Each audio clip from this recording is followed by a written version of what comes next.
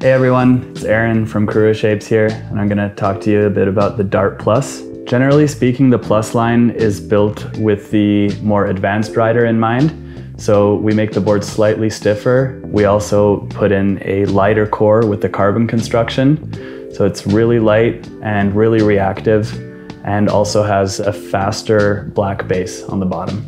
Yeah, so the Dart is our classic retro-inspired swallowtail shape. Definitely designed for powder in mind, but also performs really well on hard pack groomers. In terms of tail shape, the really deep swallowtail is great in powder to relax your back foot and eliminate kind of like leg burn at the end of a long run. It's kind of surfy and playful, but it also has a, a good torsional stiffness if you're taking this to hard pack groomers for some carving and turning action. In terms of carving, what the deep swallowtail is really good for as well is riding really tight radiuses towards the end of the turn so you can really crank it out the back because you have a little bit more play than you do with the closed tail.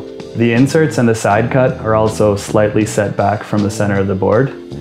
And in terms of camber profile, we've got a float camber here, which means there's full camber underfoot which provides really good edge hold and grip.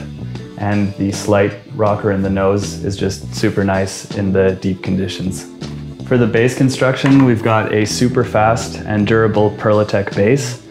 So it's really a board that loves to go fast in powder and on groomers. Yeah, that's the Dart for you. If you're interested to learn some more details, you can check out the spec sheets online. Thanks a lot for watching and enjoy your turns.